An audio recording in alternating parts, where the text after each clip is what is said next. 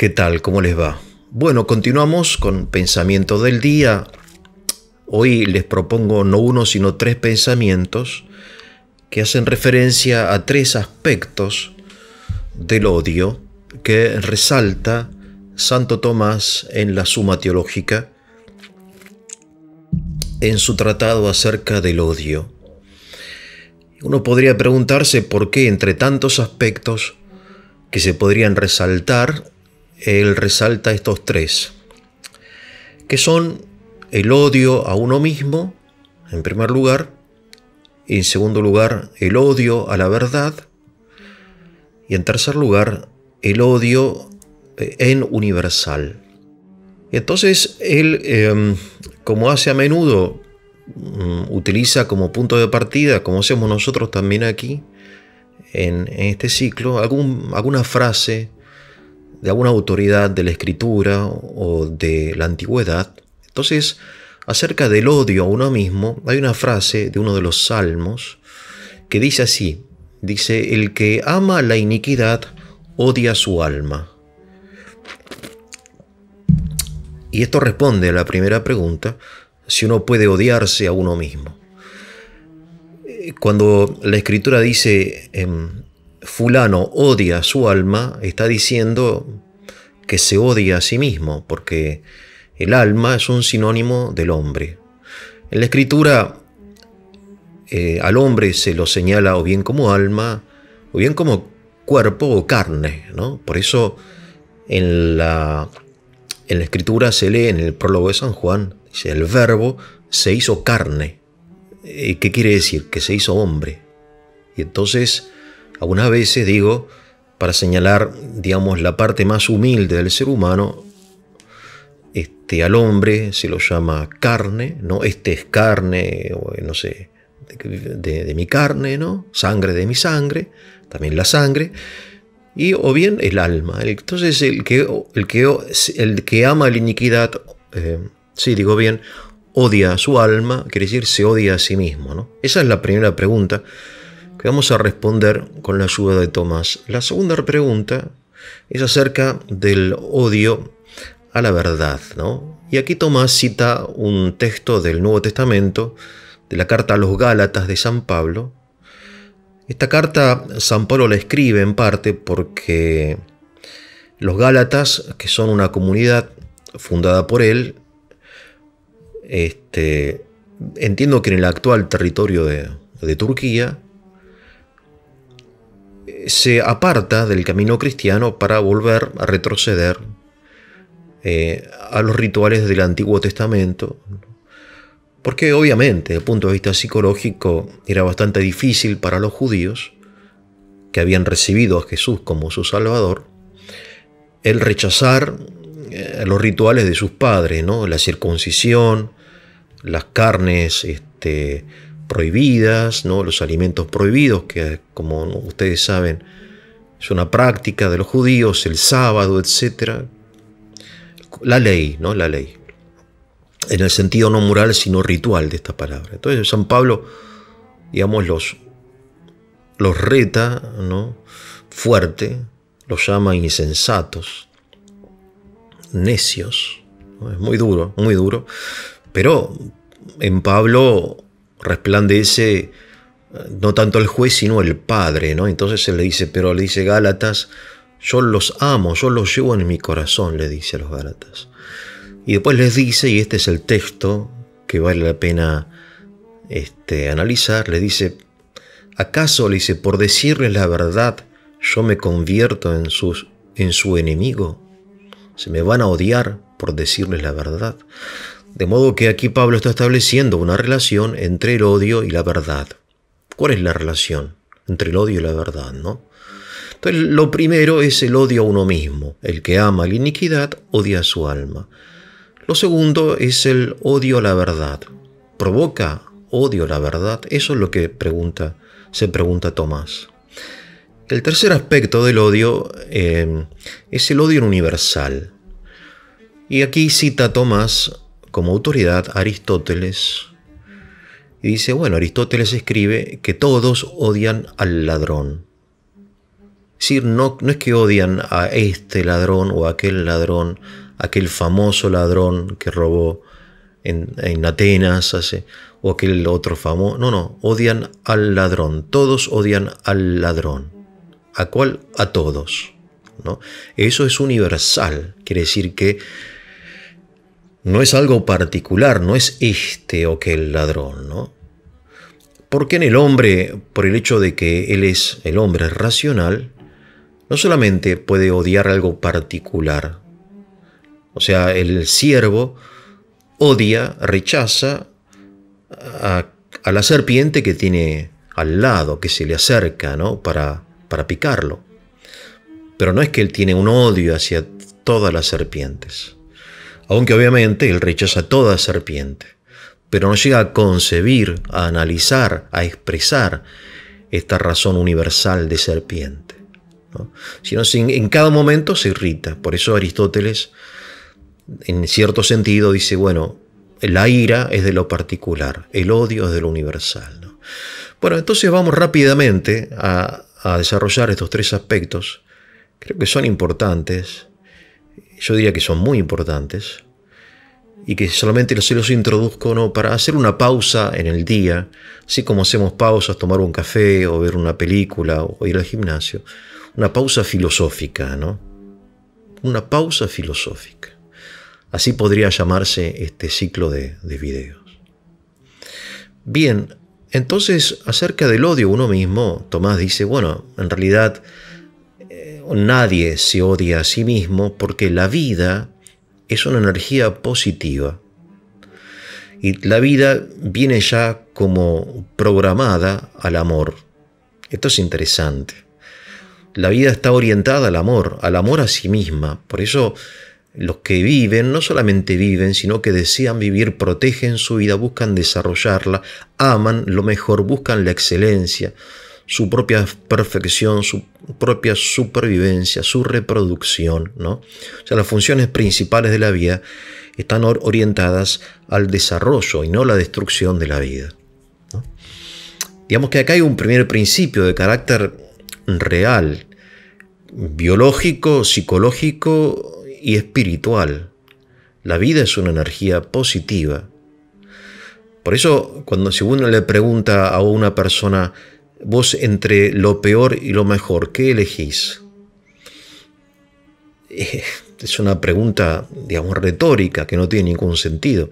Todos nosotros elegimos lo mejor, más allá de lo que nosotros entendamos como mejor, qué es lo mejor, si entre, entre la opción de elegir lo peor y lo mejor, elegimos lo mejor.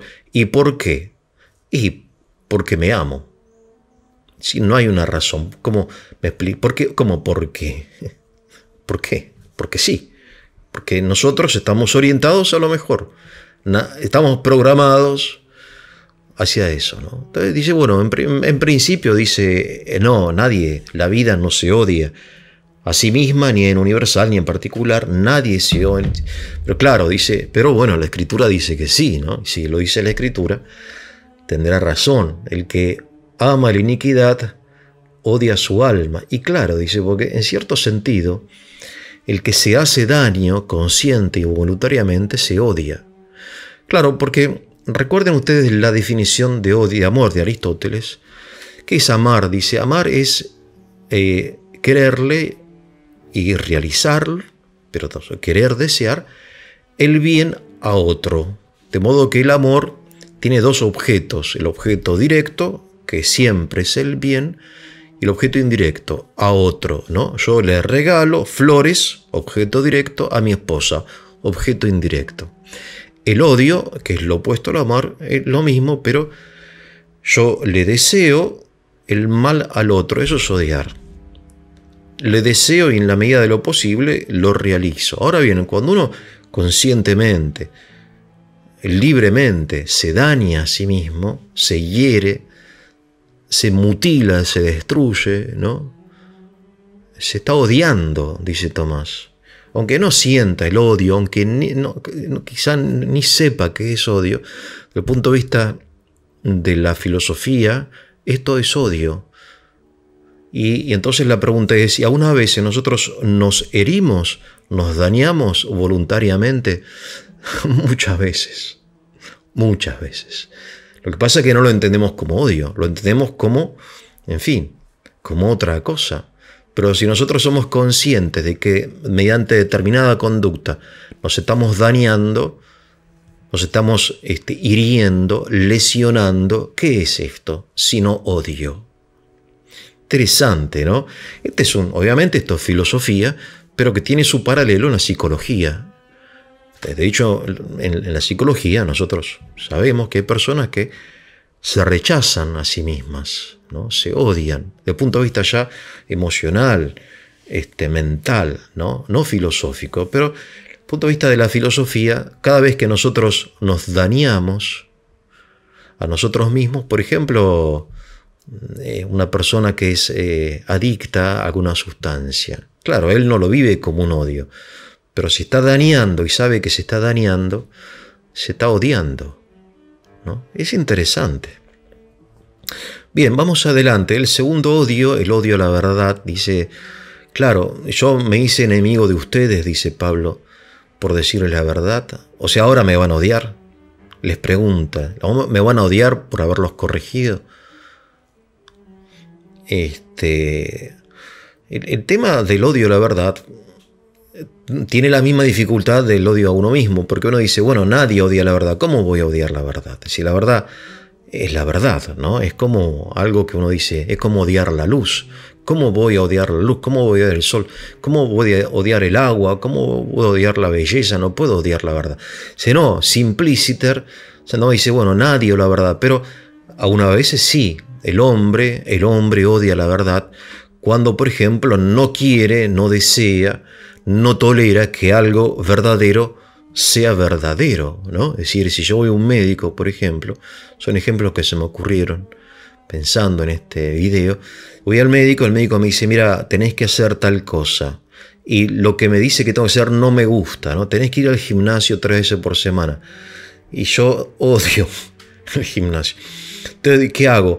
Voy a otro médico y, a otro médico hasta que me diga que no, que estoy bien realidad el gimnasio, en fin, se ha demostrado en la Universidad de, Berkeley que ir al gimnasio hace mal, porque en fin.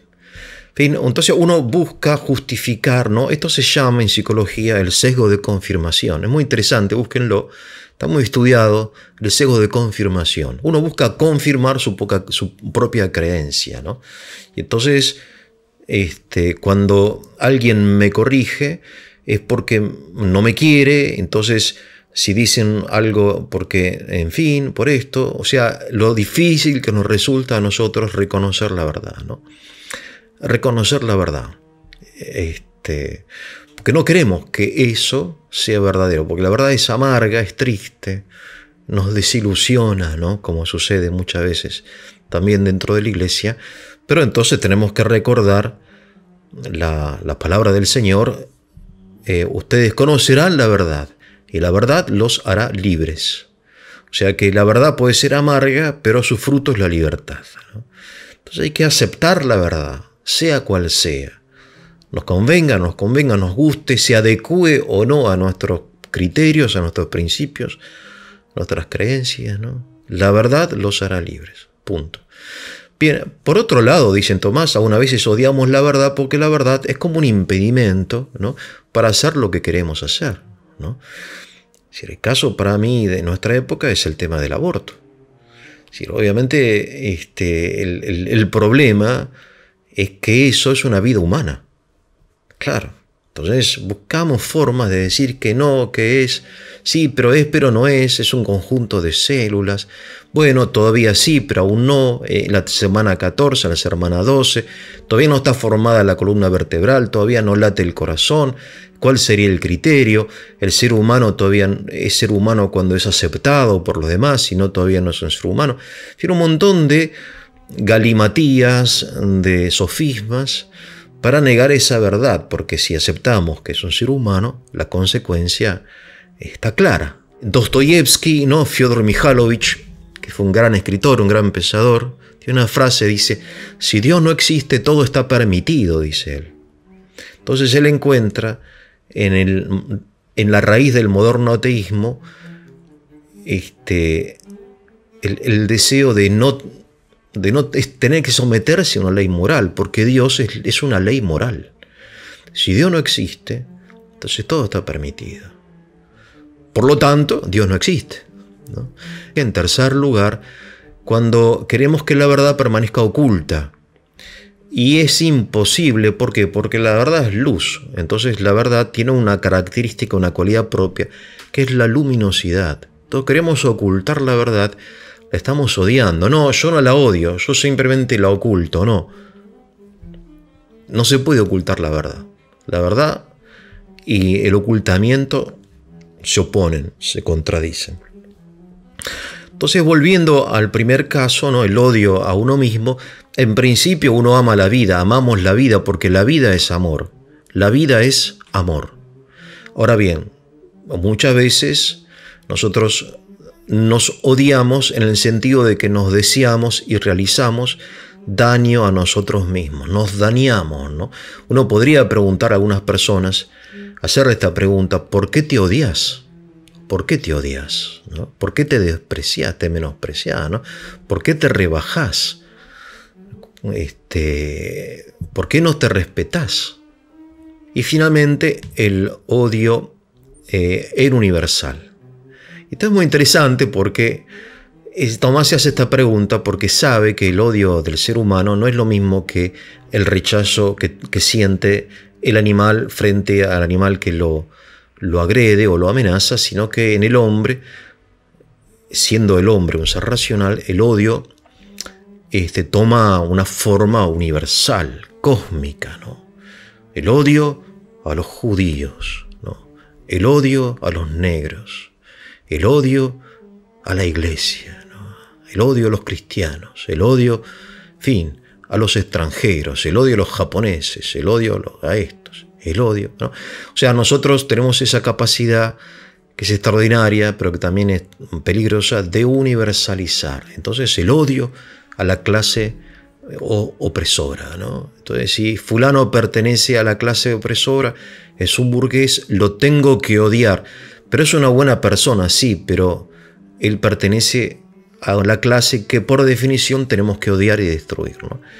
Interesante, interesante, el odio en universal. Y bien, entonces este, estos tres aspectos del odio que resalta Tomás, por alguna razón, que son el odio a uno mismo, el que ama la iniquidad odia su alma, el odio a la verdad, ¿no? ¿Acaso soy enemigo de ustedes por decirles la verdad?